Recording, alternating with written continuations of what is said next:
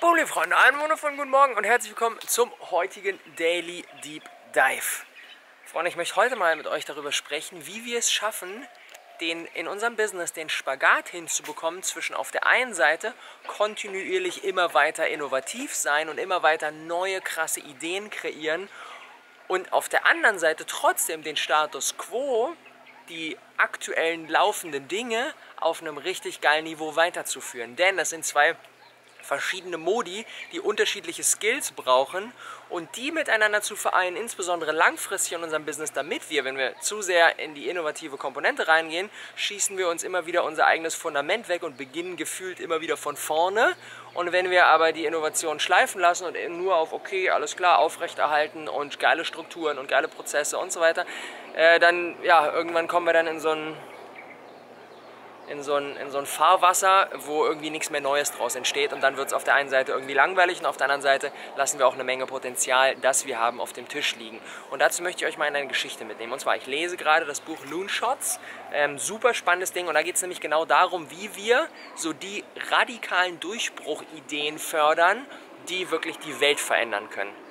Und ähm, gibt es eine Story aus dem Zweiten Weltkrieg und ähm, äh, Amerika ähm, war in der Situation im Wettrüsten mit Deutschland und mit äh, Hitler, dass sie auf der einen Seite auf technologisch, an technologischer Front ähm, natürlich weiterentwickeln mussten und dann gab es dann ganz viele neue Erfindungen wie Radarsysteme und so weiter und so fort, mit der dann U-Boote ähm, unter Wasser getrackt werden konnten. Auf der anderen Seite mussten sie aber natürlich auch in dem altbekannten Metier immer weiter unterwegs sein und halt irgendwie die klassischen Waffen produzieren und sozusagen das, das Handwerkliche ähm, innerhalb von so einem Krieg.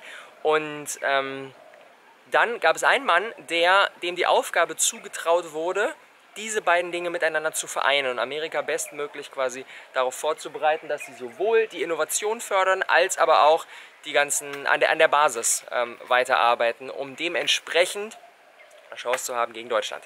Und äh, das, dieser Mann war Vannevar Bush und Vannevar Bush hat zwei Dinge direkt installiert, als er diese neue Aufgabe begonnen hat und anhand derer können wir lernen, wie wir es schaffen, Innovation und trotzdem die Basis immer wieder am Start haben, wie wir diese beiden Dinge ebenfalls für uns miteinander vereinen können. Und zwar Punkt Nummer eins, den er gemacht hat, er hat die beiden verschiedenen Fronten, die für die jeweiligen Aufgaben zuständig waren. Auf der einen Seite die, die, die teilweise etwas verrückten Wissenschaftler, die dann da geforscht haben und die für die Innovation zuständig waren. Und auf der anderen Seite die ganzen Generäle ähm, und so die ganzen, ich sage jetzt mal, Alteingesessenen, ähm, die hat er erstmal voneinander getrennt, physisch.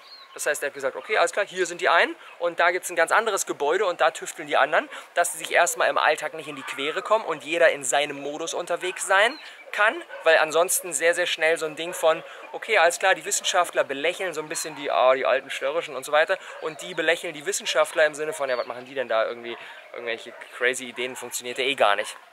Das heißt, er hat die erstmal physisch voneinander getrennt und dann hat er aber dafür gesorgt, dass die Kommunikation zwischen diesen beiden sehr, sehr stark ist. Denn wenn die Wissenschaftler irgendetwas Neues entwickeln und das dann ähm, an, die, ähm, an die Basis geben, wo es dann eben umgesetzt wird. Wenn da die Kommunikation nicht stark ist, dann nutzen die das überhaupt gar nicht. Und wenn aber auch die Kommunikation zurück nicht stark ist und weil niemand entwickelt sofort als allererstes stark ein richtig krasses Produkt, das perfekte Produkt, wenn die Kommunikation rückwärts auch nicht da ist, dann wird es halt im Alltag genutzt, aber der Transfer geht gar nicht wieder zurück zu den Wissenschaftlern, die das dann eben im stillen Kämmerlein noch weiter improven können. Das heißt, zwei Dinge, damit, damit wir es schaffen, auf der einen Seite die innovativen Ideen weiter zu fördern und auf der anderen Seite die Basis weiterzuentwickeln und für ein so solides Fundament zu sorgen, ist, wir müssen das beides voneinander separieren, aber für gute Kommunikation dazwischen sorgen.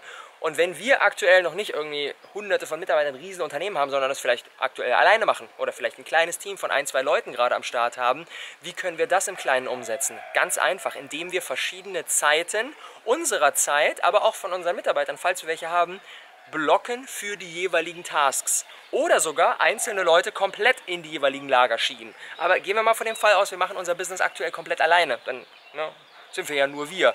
Das heißt, das Einfachste, was Sie machen können, ist, indem wir uns entweder fixe Zeiten am Tag oder aus meiner Sicht sogar noch besser, Tage komplett für die verschiedenen Modi blocken. Und so mache ich das sehr, sehr gerne, dass ich sage, okay, da habe ich einen Tag oder vielleicht sogar zwei Tage, wo ich komplett in den Innovationsmodus reingehe und nur Gedanken spinne und wie könnte man und wirklich crazy Ideen. Und dann habe ich wieder einen Tag oder zwei, wo ich sage, okay, alles klar, jetzt mal die ganzen crazy Ideen beiseite und jetzt geht es wirklich nur um die Umsetzung. Jetzt geht es nur ganz, ganz praktisch, ganz, ganz hands-on wirklich um die Implementierung von all diesen ganzen Ideen. Und dann nicht hin und her zu switchen, weil was für uns, für unseren Kopf extrem schwierig ist, ist, wenn wir auf der einen Seite irgendwie eine Stunde krass innovativ denken sollen und dann sollen wir eine Stunde sehr, sehr praktisch sein und sollen uns die Frage stellen, wie können wir das jetzt bestmöglich ähm, implementieren. Ansonsten kommen nämlich immer die jeweils anderen Züge damit rein und während wir dann da krass innovativ unterwegs sind, sagt dann die Umsetzungskomponente so, ah, nee, äh, das geht ja nicht, weil, denkt dann sofort in die Umsetzung und andersrum genauso und dann kommen die sich gegenseitig in die Quere und wir schaffen keins von beiden. Das heißt, das voneinander zu separieren, das voneinander zu trennen, ist eine richtig, richtig gute Idee, weil es eben dafür sorgt, jetzt kriegen wir hier Gegenverkehr, weil es eben dafür sorgt, dass wir beides unterbekommen und eben die Qualitäten von beiden Energien am Start haben. Das ist super, super wichtig. Und wenn wir schon ein kleines Team haben und da vielleicht sogar auch einzelne, einzelne Teammitglieder haben, die irgendwie eher für den Umsetzungspart zuständig und die, die eher für den, für den innovativen Part zuständig ist, da immer wieder eine gute, eine gute Kommunikation zwischen zu gewährleisten und die immer wieder an den Tisch zu setzen, aber dann jeden wieder in seine Richtung rennen zu lassen. Super, super, super, super wichtig. Also so schaffen wir es, auf der einen Seite immer weiter zu entwickeln und immer innovativer zu sein und trotzdem geile Basis, geile Umsetzung, geiles, geilen Alltag auf die Beine zu stellen. Super, super spannend. Also, ihr Lieben, gebt uns gerne mal unterhalb ein Feedback. Wie ist das aktuell bei euch? Schafft ihr das, die Innovation und wirklich die Hands-on, die praktische Umsetzung richtig gut unter einen Hut zu bekommen? Und wenn ja, wie geht ihr das Ganze an? Und wenn nicht, vielleicht hat euch mein heutiger Impuls dazu geholfen. Ich wünsche euch einen wundervollen Tag. Wir hören uns morgen wieder. Cheers!